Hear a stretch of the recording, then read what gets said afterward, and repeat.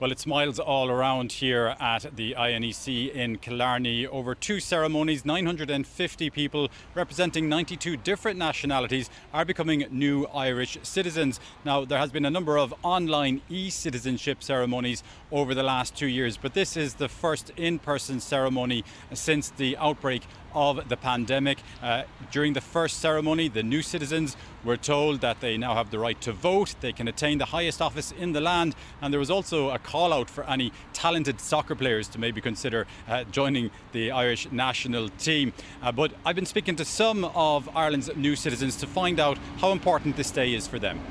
Um, I really objected to the British, the UK decision to be, uh, to leave Europe, and I really, it was important to me that um, to be a European.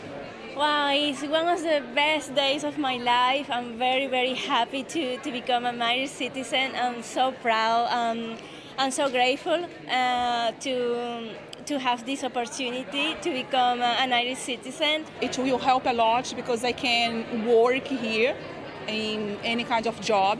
If I want to open a business, I can open as well.